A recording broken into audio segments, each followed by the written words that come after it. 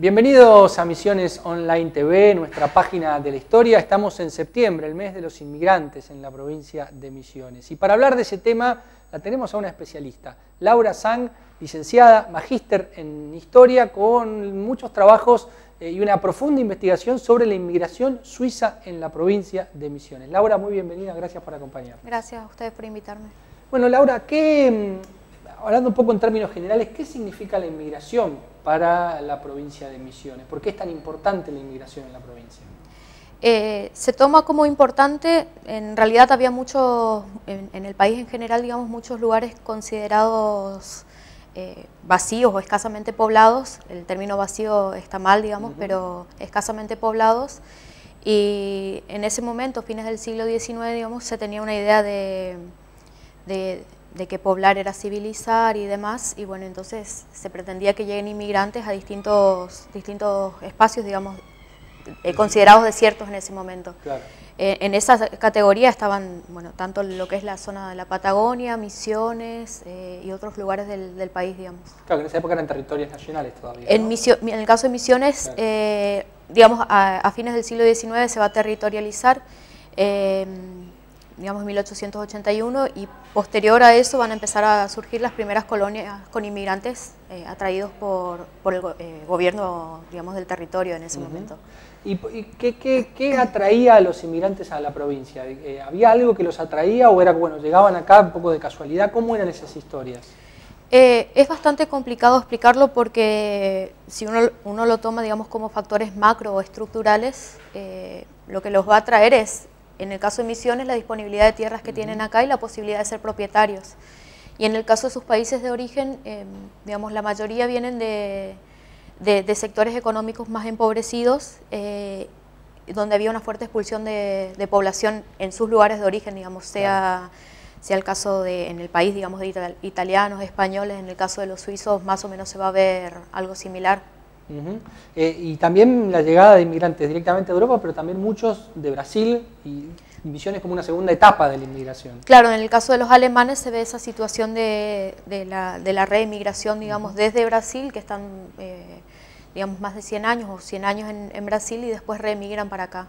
Para el, el, lugar, digamos, el epicentro más fuerte de la inmigración de alemanes venidos de Brasil fue justamente Puerto Rico. Claro en menor medida Monte Carlo y El Dorado, pero más que nada Puerto Rico. Eh, ¿qué, había en Puerto Rico y en toda esa zona para, generar la atracción de, los inmigrantes? Eh, ¿Era una colonización pública, una colonización privada? ¿Cómo era la atracción de los inmigrantes? En el caso de Puerto Rico, Monte Carlo y El Dorado eh, eran colonias privadas. El Dorado, bueno, hasta 1924 a cargo de, Adolfo Schwelm y en el caso de Puerto Rico y Monte Carlo, de Carlos Culmey. El principal factor, bueno, me parece que tenía que ver con, la disponibilidad de, las tierras, con las posibilidades de, un pago, eh, digamos, bastante financiado, con facilidades de pago, y también porque eh, étnicamente se buscaba una colonia, digamos, de inmigrantes eh, del mismo origen, más o menos. Por eso es que mayoritariamente son del mismo origen. Claro, se buscan, digamos, los... Sí, se, buscaba, se buscaba más o menos eso. Claro. Y con la inmigración suiza específicamente, ¿qué es lo que los, cómo llegan a toda esa zona? Digamos, hay toda una historia, una, tradición que inclusive arranca en el siglo XIX de inmigrantes suizos en la región. Sí, el caso de los inmigrantes suizos es, eh, también hay que distinguir eh, etapas. Eh, comienzos de la década del 20, digamos, se van a fundar Santo Pipó, 1925 Oro Verde. en el caso de Santo Pipó, por ejemplo, se trataba más bien de una inmigración digamos, los autores hablan de inmigración de élite porque ya venían de, digamos, eran personas con capital para invertir, eran todos, todos la mayoría eran universitarios, y dentro de Suiza, digamos, en, donde habían estudiado, en los centros universitarios donde habían estudiado, ya conocían sobre la yerba mate, entonces venían con intenciones de plantar. Eh, era todo un grupo más o menos que entre ellos, eh, digamos, se conocían, eh, una red, digamos.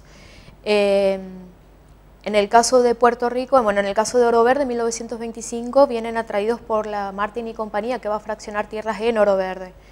Eh, y después hay que distinguir la siguiente etapa, que es a mediados de los 30. Digamos, en el caso de Suiza, la, crisis económica va a afectar más tardíamente en relación a otros países en el 36, 1936, donde es donde va a tener las repercusiones más fuertes de la crisis y, y después de eso, bueno, el Estado suizo eh, consideró que la mejor forma de aliviar la presión demográfica, la presión social eh, causante de la, a causa de la desocupación era que emigren, digamos. Entonces en el 37, el 6 de julio, va a firmar un tratado con Argentina para emigrar a los suizos y a través de ese, bueno, se le daba una especie de de, ayuda económica, digamos, que era devolver.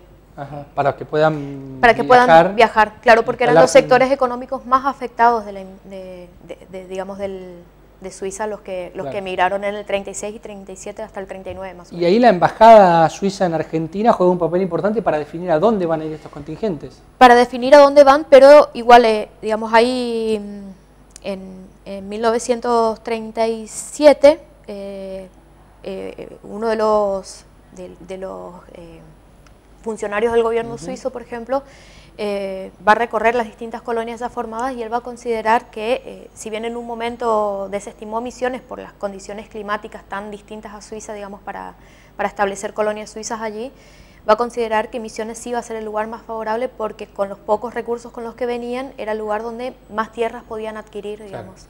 Y también porque en el caso de la compañía El Dorado, que a partir digamos, de, allí ya se hizo cargo de la, de la, colonización de todo el Alto Paraná, en 1924 en realidad, pero en ese momento ya estaba a cargo, em, va a poner un precio diferencial para quienes ingresen como mecanismo para atraer inmigrantes suizos. Entonces va a reducir el precio de, las tierras, incluso eh, con la posibilidad de financiar. Claro, claro.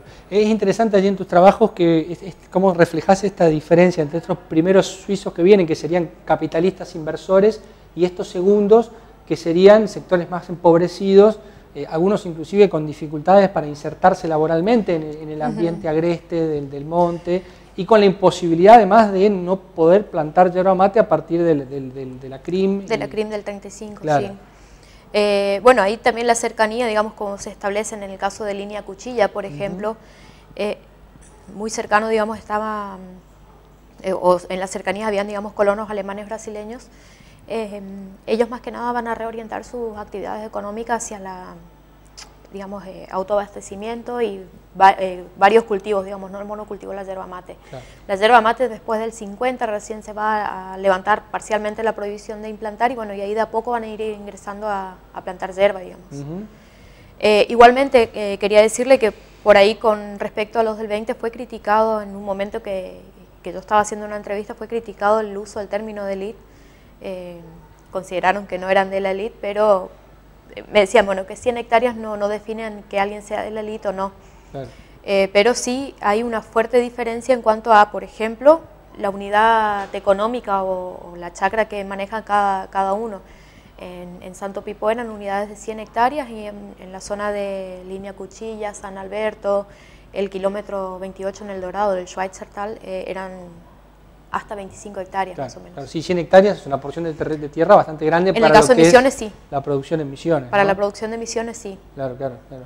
Eh, ¿Y estas, estas diferencias se veían en el cotidiano de la colectividad suiza en la región, digamos, estas diferencias sociales y económicas? ¿Había eh, una integración entre estos inmigrantes un poco más viejos y estos nuevos que están llegando? Yo considero que sí había una integración. Por ahí eh, había sí diferencias en, en el sentido de lo, de lo económico, pero cuando era para juntarse digamos, y celebrar el primero de agosto, que es la, fiesta nacional suiza, eh, sí había bastante integración. Eh, quizás también se había, considerado, digamos, desde, eh, digamos, desde Santo Pipó, no tanto desde Santo Pipó, sino uno de los autores que, escribe sobre inmigración suiza, que es justamente un, escritor, digamos, que la, la inmigración de los subvencionados había sido un fracaso. La de los subvencionados, justamente la subvención era esta ayuda económica que daba el gobierno suizo. Porque, bueno, eh, considerándolo así, de 6.000 ingresados al territorio en ese momento, 2.000 solamente quedaron en Misiones, 2.000 reemigraron a Suiza y 2.000 a otros puntos del país, como por ejemplo Bariloche, uno de los lugares de, más atracción. Sí, porque digo, eh, hay que pensar también las diferencias del ecosistema, de la geografía, con lo que es Suiza, con lo que es la provincia de Misiones. Ahí también debe haber habido algún impedimento a la hora de la instalación definitiva de esta gente. Eh, sí, en, uno de los trabajos, por ejemplo, que, que, había presentado, se mostraba esa dificultad de, la adaptación, incluso señalaban muchos, muchos de los inmigrantes que tuvieron su periodo de adaptación previa, digamos, en el marco del Tratado Suizo-Argentino, tuvieron su periodo de, adaptación previa antes de venir acá, digamos, pero eh, en las entrevistas señalaban que les, enseñaban a comer poroto, digamos, a tomar mate y nada más. Entonces llegaban acá con prácticas culturales que trataban de imitar, digamos, de, o, de Suiza y tratar de hacerlas acá. O sea, plantaban, por ejemplo, mandioca como la, papa en Europa pero también las dificultades estaban no solo por la diferencia climática, sino porque la mayoría de los que, de los que emigraron eran provenientes del sector urbano. Claro. Entonces no tenían eh, eh, prácticas, prácticas agrícolas, nada, digamos. sí, inclusive uno que manejaba un taxi en Suiza, que lo traen acá al monte a tener que trabajar la Manejaba un taxi, eh, o sea, el, el, problema era ese justamente, profesiones muy del sector urbano, Quizás, digamos, si, si era en el caso del carpintero, por ejemplo, sí podía eh, encontrar dónde ejercer su profesión, digamos, de, forma paulatina a la chacra, digamos, pero en el caso del taxista es complicado. Ahora, ¿cómo, ¿cómo, viven los, los, suizos actuales, los herederos, ya los, los, los nietos, los hijos, los nietos, em, eh, toda esa experiencia de la inmigración? ¿Perduran los rasgos culturales? ¿Perdura una memoria colectiva en torno a la condición de inmigrante? Vos que estuviste muy en contacto con ellos, ¿estás en contacto con ellos? Eh, considero que sí. Eh, la tradición, por ejemplo, es muy fuerte, la del, la del festejo del, primero de agosto. Quizás se ve en menor medida que en el caso de los alemanes la mantención del idioma, digamos. Se mantiene sí fuertemente, pero no tanto como los alemanes, porque en el caso de los alemanes brasileros, por ejemplo, de Puerto Rico, muchos siguen manteniendo hoy en día el idioma y son generaciones, digamos, de donde estuvieron más de 100 años en Brasil y después acá, digamos, eh, digamos en Puerto Rico. Entonces, eh, son muchas generaciones de mantención del idioma y en el caso de los suizos se nota en muchos casos tercera, cuarta generación y se va perdiendo el idioma. Pero sí se vio también eh, una fuerte reemigración cuando tuvieron la posibilidad de, por ejemplo, hacerse la doble nacionalidad para, para irse a Suiza en la época de la crisis, digamos, fines de los 90, 2001, eh, muchos se fueron a Suiza, eh, muchos retornaron de vuelta, digamos, pero ya teniendo inversiones en, en, la zona. Claro, claro. Digamos, eh, con, con, un, con, un, perfil socioeconómico muy distinto al de sus orígenes, ¿no? Muy distinto al de sus orígenes, sí, sí. Sí, sí. igual fue una vida, una vida muy sacrificada en, en esos momentos, porque vinieron prácticamente sin recursos, sin experiencia en el agro, sin la posibilidad de plantar yerba mate. Eh, fue bastante... Y además uno siempre tiene la, imagen esa de, bueno, llega el inmigrante y se encuentra con 20 hectáreas, 25 hectáreas, pero que son 20, 25 hectáreas de monte que hay que limpiar, que hay que ordenar. Eh. Bueno, uno de, las, de los casos que yo había tomado era bastante, bastante atípico, digamos, eh, la mayoría de los inmigrantes cuando venía de Europa tenía la idea de, que esto ya, era más organizado y no tenían, eh, digamos, eso de que llegaban al monte. Entonces la visión del monte fue bastante compleja.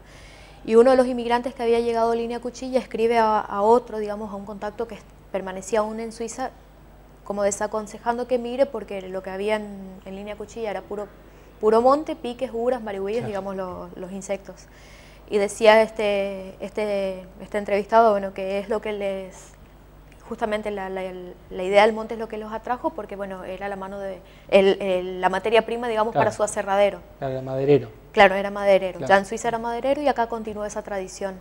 Entonces el monte fue lo que los atrajo, digamos.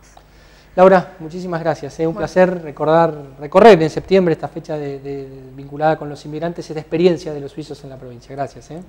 Laura San, aquí con nosotros en la página de la historia en Misiones Online TV.